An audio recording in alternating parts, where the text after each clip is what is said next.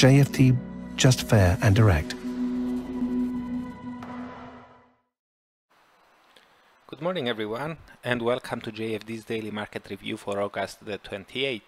I am Charalambos Pissouros, senior market analyst here at JFD and I will talk about yesterday's main market movers, what's my opinion moving ahead, what are today's important events and how they could affect the markets. But before we start, let's read our disclaimer. The content we produce does not constitute investment advice or investment recommendation, should not be considered as such, and does not in any way constitute an invitation to acquire any financial instrument or product. I will leave you a few seconds to read the rest and then we will jump into our analysis.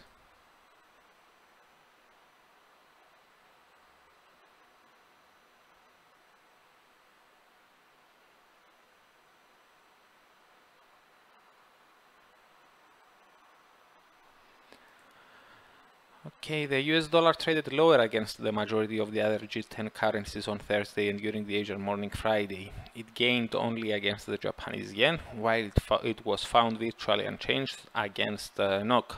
The greenback lost the most ground against, against uh, the Aussie and the Kiwi. The weakening of the US dollar and the yen combined with the strengthening of the risk-linked currencies Aussie and Kiwi suggests that markets traded in a risk-on fashion once again. Although major EU indices closed their Thursday session in negative waters, in the US, both the S&P 500 and the Dow Jones Industrial Average gained 0.17 and 0.57% respectively, with the former hitting a fresh record. The exception was Nasdaq, which slid 0.34%. The positive investor morale rolled over into the Asian session today as well. Although Japan's Nikkei fell 1.40% due to Abe's resignation reports, we will discuss this uh, in a while, China Shanghai Composite, Hong Kong's Hang Seng, and South Korea's KOSPI are all up 1.52, 1.97, and 0.48% respectively. The risk-averse uh, trading during the EU session shows that market participants remained cautious ahead of Fed Chief Powell's speech at the Jackson Hole Economic Symposium. However, in the aftermath of the event, they felt comfortable to re-increase their risk exposure.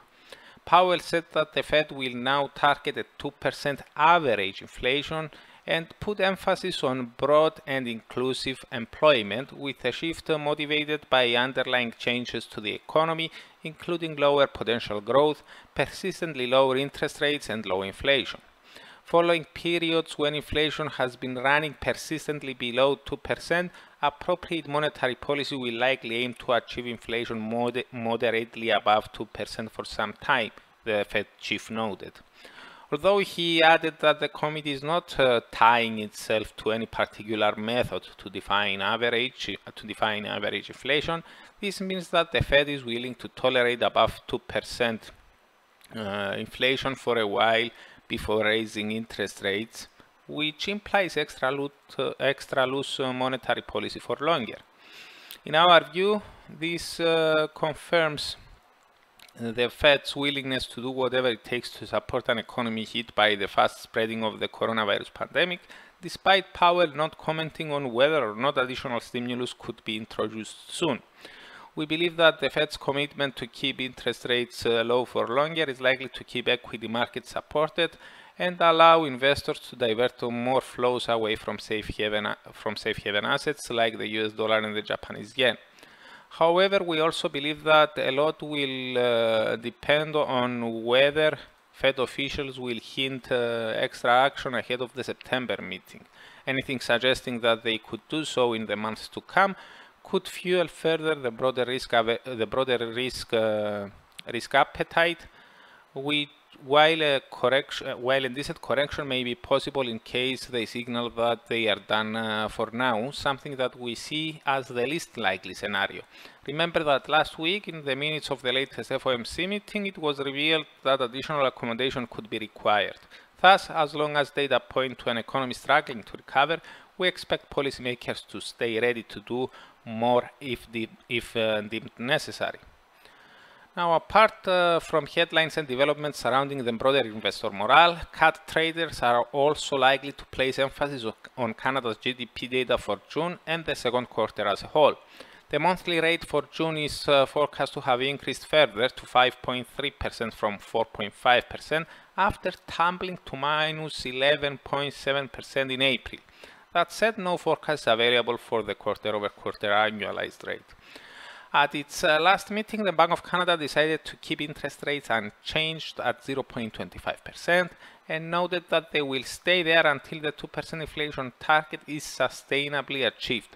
Officials also added that they will continue with their QE program until the economic recovery is well underway and that they stand ready to adjust their programs if market conditions change. With all that in mind, we believe that further improvement in economic activity during the month of June may allow policymakers to stand pat for a while more.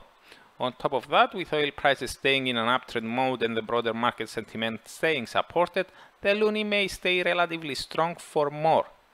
If risk appetite continues to improve, we would expect uh, the currency to perform better against uh, the safe havens like uh, the US dollar, the Japanese yen, and maybe the Swiss franc. Now, today during the early European morning, headlines hit the wires uh, that Japan's Prime Minister Shinzo Abe is set to resign due to health reasons. He wants to avoid disruptions to the government due to his illness, the reports uh, suggested. Abe has pledged to revive growth with his Abenomics, policies that included extra loose monetary easing, as well as fiscal spending and reforms. As a result, the immediate market reaction on the reports was a stronger yen, a stronger yen and a tumbling Nikkei. That said, with monetary and fiscal policies worldwide staying ultra loose, we doubt that Abe's resignation could result in a long-lasting uptrend in, uptrend in the yen and a more severe slide in, uh, in the Nikkei. If investors around the globe continue to trade in a risk-on manner, the safe haven yen is likely to come back under renewed selling interest and Japanese equities are likely to rebound. As for the rest of uh, today's events, uh, during the US session we get personal income and spending data for uh, July alongside the core PCE index for the month. Personal income is expected to have declined 0.2% month over month after falling 1.1% in June, while spending is forecast to have slowed to 1.5% month over month from 5.6%. The core PCE index, the Fed's favored inflation metric, is expected to have increased to 1.2% year over year from 0.9%, something supported by the rise in the core CPI rate for the month. The final University of Michigan Consumer Sentiment Index for August is also, is also coming out and is expected to be revised fractionally up to 72.8 from 72.5. We also have one speaker on today's agenda, and this is Bank of England Governor Andrew Bailey. So that's it uh, from me. Thank you very much uh, for watching and listening. For those who are interested in learning about the main events of the week uh, much earlier, you can subscribe to the weekly Market Outlook webinar, which I'm holding every Monday at 7 o'clock a.m. GMT time. You can find the link in the description below. So goodbye, have a great day and greater weekend, and I'm looking forward to seeing you here again next week.